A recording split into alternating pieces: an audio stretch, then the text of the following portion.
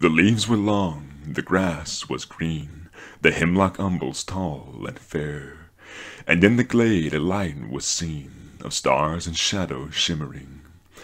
Tinuviel was dancing there to music of a pipe unseen, and light of stars was in her hair and in her raiment glimmering.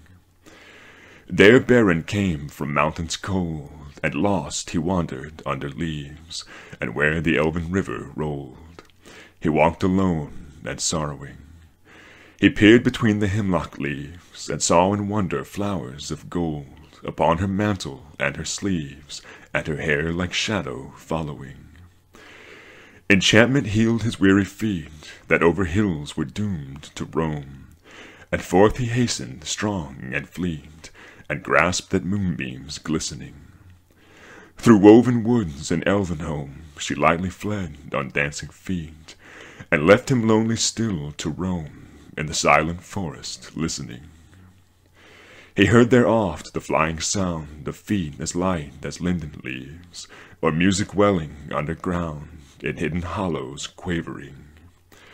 Now withered lay the hemlock sheaves, and one by one, with sighing sound, Whispering fell the beechen leaves in the wintry woodland wavering. He sought her ever, wandering far, where leaves of years were thickly strewn, by light of moon and ray of star, in frosty heavens shivering. Her mantle glinted in the moon, as on a hilltop high and far she danced, and at her feet was strewn a mist of silver quivering. When winter passed, she came again, and her song released the sudden spring, like rising lark and falling rain and melting water bubbling. He saw the elven flowers spring about her feet, and hailed again. He longed by her to dance and sing upon the grass untroubling. Again she fled, but swift he came Tinuviel, to Nuviel. He called her by her elvish name, and there she halted, listening. One moment stood she, and a spell his voice laid on her. Beren came, and doom fell on Tinuviel, that in his arms lay glistening.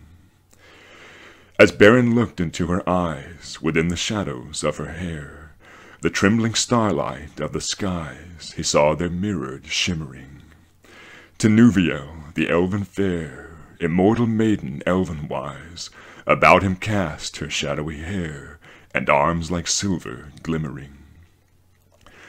Long was the way that fate them bore, o'er stony mountains cold and gray, through halls of iron and darkling door, and woods of nightshade morrowless.